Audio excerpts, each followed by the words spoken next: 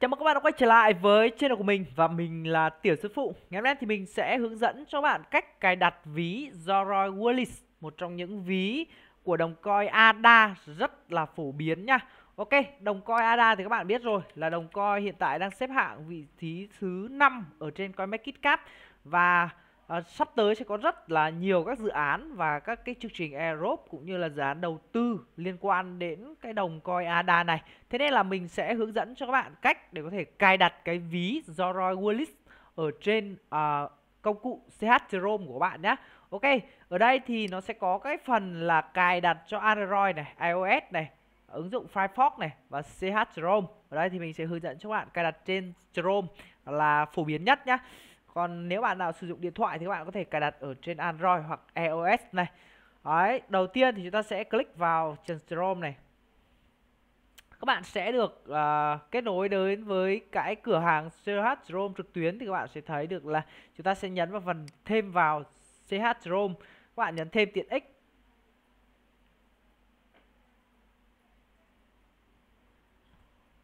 Ok, thì các bạn sẽ thấy là cái à, ví của các bạn đã được thêm vào CH Chrome và các bạn à, bật nó lên. Có thể ghim ra ngoài hoặc không nhé tắt cái ghim này đi. Thì các bạn sẽ thấy được cái giao diện ví của nó sẽ như thế này cái logo của nó đây. Các bạn ấn vào. Và chúng ta sẽ phải bắt đầu khởi tạo ví do Roy Wallis nhá. Các bạn sẽ nhấn vào phần chọn ngôn ngữ này. Ở đây có tiếng Việt không? Nếu không có tiếng Việt thì chúng ta chọn English. Các bạn nhấn continue và các bạn sẽ phải đồng ý với các điều khoản của nó nhé các bạn chúng kéo xuống hết các bạn tích vào tôi đồng ý với các điều khoản này các bạn nhấn continue tiếp tục sau đấy thì các bạn sẽ uh, nhấn vào ở đây thì mình xem nào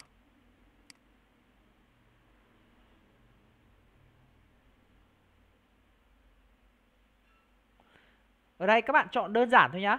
Đây các bạn chọn đơn giản này. Sau đấy các bạn nhấn vào phần ờ,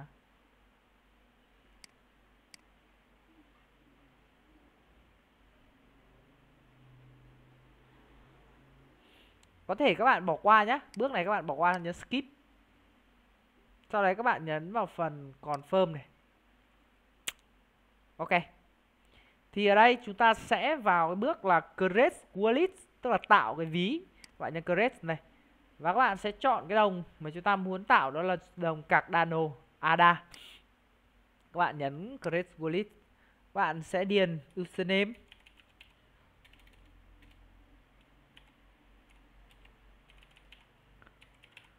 Các bạn điền à, mật khẩu này.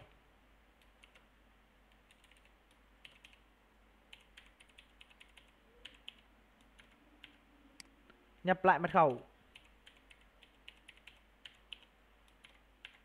Sau đấy các bạn nhấn create personal wallet.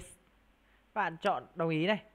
Các bạn chờ thời gian nó chạy và chúng ta sẽ à, nhấn continue cái bước này chuẩn bị có bước quan trọng này. Các bạn sẽ phải lưu cái ký tự 15 ký tự của ví.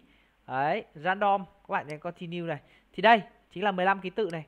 Các bạn cần phải chụp ảnh hoặc là ghi vào mảnh giấy. Bởi vì ở đây ấy nó là cái ờ, uh, cây xem như là private key ấy các bạn. Thì các bạn uh, có cái này thì các bạn sẽ phục hồi được cái ví của bạn tức là mở cái ví của bạn được ở bất kỳ đâu. Thế nên là đây được xem là cái khóa bảo mật và các bạn cần phải lưu trữ nó một cách cẩn thận. Nếu như các bạn mất cái này các bạn sẽ mất tài sản của bạn nhé sau khi các bạn lưu cái phần uh, uh, sheet file ấy, thì các bạn nhấn vào z I uh, whiten it down.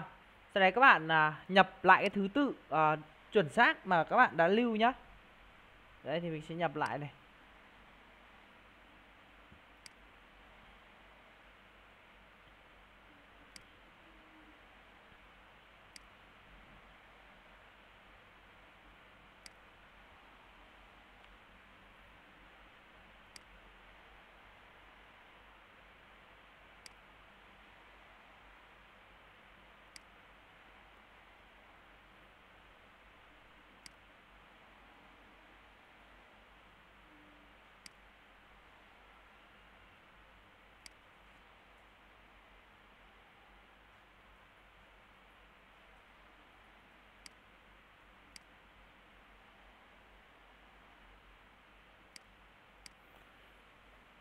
Sau đấy thì các bạn tiếp tục tích vào đồng ý và các bạn nhấn confirm.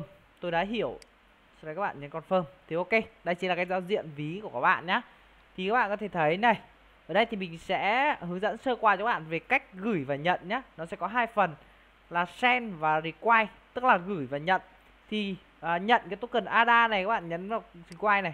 Các bạn sẽ thấy địa chỉ ví của bạn nó sẽ như thế này các bạn copy này hoặc các bạn có thể sử dụng cái má quét QR này để yêu cầu bạn bè hoặc là những người khác quét cái này để có thể uh, send vào cái địa chỉ ví của các bạn. Còn gửi thì các bạn uh, ví dụ các bạn copy ví này sẽ gửi này. Gửi thì các bạn sẽ uh, paste cái địa chỉ ví này. Sau đấy thì các bạn uh, nhập số lượng ví dụ là 100 ADA đúng không? Đấy.